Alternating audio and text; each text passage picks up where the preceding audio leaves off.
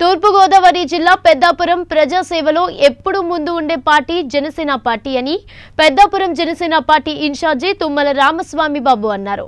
పెద్దాపురం పట్టణంలో తొమ్మిదవ ward Janasena party అభ్యర్థి చిటికెల త్రివేణి నారాయణమూర్తి ఆధ్వర్యంలో లాక్డౌన్ కారణంగా ఇబ్బందులు పడుతున్న వార్డు ప్రజలకు కూరగాయలు పంపిణీ చేసే కార్యక్రమంలో ఆయన పాల్గొని వార్డు ప్రజలకు నిత్యావసర సరుకులు పంపిణీ చేశారు.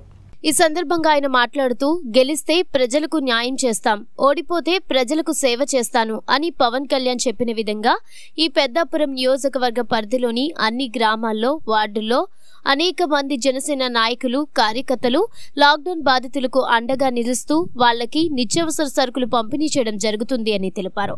ఈ కార్యక్రమంలో చిటికెల నారాయణమూర్తి నున్నా భాస్కర్ రావు గౌరీలక్ష్మి పెద్దరాజు తదితరులు పాల్గొన్నారు. సేవ చేయాలనేటువంటి ఉద్దేశంతో ముందుకు వచ్చి మరి ప్రతి వార్డులో కూడా కార్యక్రమాలు చేస్తూ ఉన్నారు పెద్దాపురం నియోజకవర్గంలో. అలాగే నిన్న పెద్దాపురం నియోజకవర్గంలో పెద్దాపురం పట్టణంలో ఉన్నటువంటి ఇరవై వార్డులో నిన్న కా కాయగూరలు పంపిణీ చేయడం జరిగింది.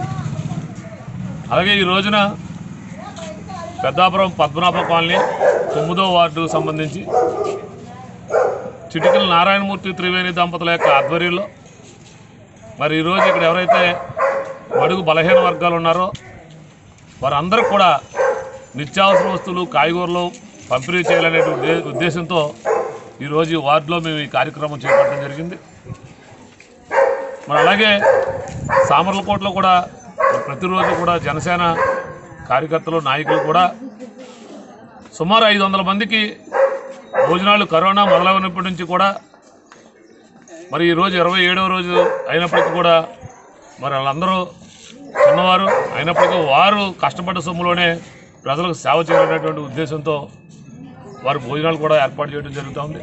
అలాగే రాత్రి సమయంలో అక్కడ ఎవరైతే మన జనసేన యూత్ ఉన్నారో వారు రాత్రి సమయంలో వారు పగల సమయంలో నాయకులు కార్యకర్తలు మరి భోజనం పంపిణీ చేయడం కూడా మరి జనసేన పార్టీ ఆధ్వర్యంలో జరుగుతూ ఉంది. నా పేరు శ్రీ త్రివేణి.